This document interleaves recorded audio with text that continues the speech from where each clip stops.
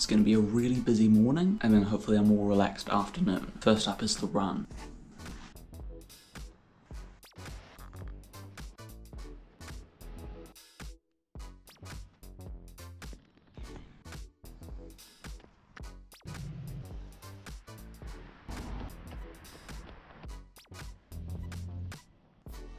I've just showered, now I'm gonna go have breakfast and then head straight up to campus.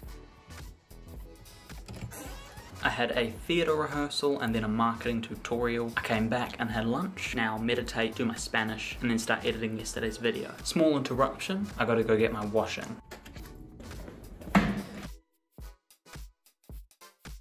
Another interruption, now I've gotta go to a flat viewing. Viewing went well, dinner was nice as well. Back to editing. As usual, the edit from Sunday is taking me a really long time. I should get a ton of footage on my long runs. Been working on it for about two hours, probably will be about another hour. Since I finished editing, I've just been chilling. I'm very tired for some reason. I'm gonna have an early night. I'll see you tomorrow.